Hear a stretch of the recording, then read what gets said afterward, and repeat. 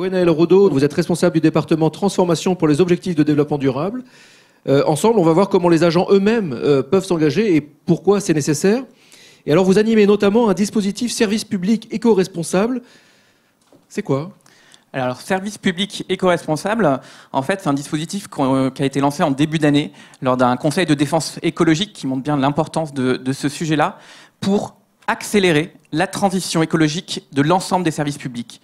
Et c'est-à-dire comment En incarnant au quotidien, pour les 2,4 millions d'agents publics de l'État, l'écologie et les mettre, leur donner la capacité à être en cohérence entre leurs aspirations personnelles et leurs pratiques professionnelles.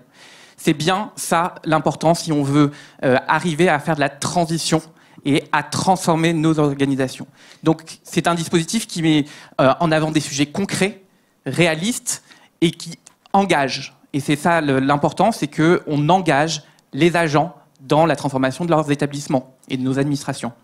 Et, finalement, c'est transformer les agents euh, de la fonction publique en ambassadeurs euh, des ODD, quelque part. Bien sûr. Déjà, ça leur fait toucher du doigt des thématiques euh, comme la mobilité durable, la, consommation énergétique, l'alimentation ou la sobriété numérique, qui sont des sujets au cœur finalement des enjeux de l'agenda 2030 et des sujets qui, bien sûr, nous concernent tous au quotidien dans nos vies professionnelles et personnelles.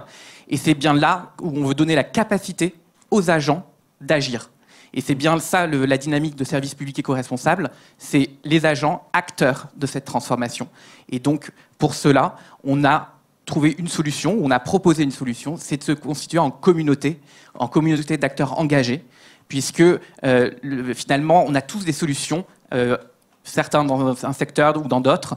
Et bien sûr, la communauté permet de fédérer, renforcer le partage de bonnes pratiques, renforcer les échanges, les débats, les solutions, parfois aussi les mauvaises euh, routes, et donner cette capacité donc à mettre en place des projets concrets qui répondent aux problématiques de chaque service, de chaque entité, et ainsi être spécifique tout en étant embarqué dans une dynamique globale et du coup participer à service public éco-responsable. C'est quoi les prochaines étapes? Alors les prochaines étapes, déjà, ben, c'est renforcer la mobilisation. Et donc, euh, bien sûr, ça passe déjà par une communauté de cœur. On est déjà plus de 250 membres aujourd'hui pilotes dans euh, le dispositif qui mobilisent eux-mêmes d'autres personnes. Donc je pense qu'aujourd'hui, on n'arrive pas à déterminer combien d'agents sont dans la communauté, mais on, sait très bien que des communautés locales sont en train de se créer, se constituer, se renforcer, et ainsi, euh, du coup, euh, renforcer le dispositif lui-même. Et donc les prochaines étapes, c'est donner la capacité à agir, et donc aussi accompagner, former, euh, donner des objectifs et aussi donner, orienter, informer pour permettre de mobiliser aussi un certain nombre de dispositifs qui peuvent les aider.